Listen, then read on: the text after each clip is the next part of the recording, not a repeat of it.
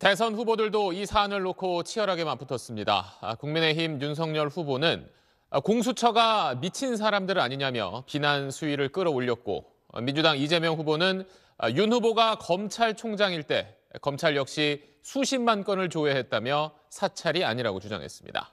이어서 강민우 기자입니다. 윤석열 국민의힘 후보는 공수처가 자신을 포함해 야당 의원들을 대상으로 통신 자료를 조회한 데 대해 원색적 비난을 토해냈습니다. 저, 제 처, 제 처 친구들, 심지어 제 누이 동생까지 통신 사찰했습니다.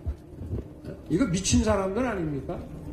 윤 후보는 야당을 노린 공수처의 불법 선거 개입이라 규정하면서 현 정부와 이재명 민주당 후보를 겨냥해 무릎 꿇고 살기보단 차라리 서서 죽겠다라고도 했습니다. 김진우 공수처장을 당장 구속 수사해야 한다는 주장도 덧붙였습니다. 이재명 민주당 후보는 윤 후보가 검찰총장이던 시절에도 검찰이 수십만 건 이상의 통신 자료를 조회했는데 그걸 누구도 사찰이라고 하지 않는다고 맞받았습니다. 윤석열 총장 계실 때 검찰에서 60만 건 했다든가 170만 건 했다든가 법령에 의한 행위를 사찰이라고 할 수는 없을 것 같고요. 다만 통신 자료 조회를 야당에 대해서만 했다면 충분히 문제 제기할 만하다며 수사를 위해 정말 필요한 경우로 한정해야 한다는 말도 했습니다. 국민의힘이 당내에 신고센터까지 두며 확전을 준비하고 있는 가운데 민주당은 윤 후보의 발언을 겨냥해 막말 폭주 기관차에 공포감을 느낀다고 비꼬았습니다.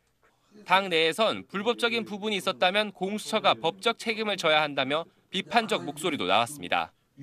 오늘 법사를 벌렸던 야당이지만 공수처와 여당의 반론을 허물어뜨릴 결정적 한방은 제시하지 못했다는 게 중론입니다.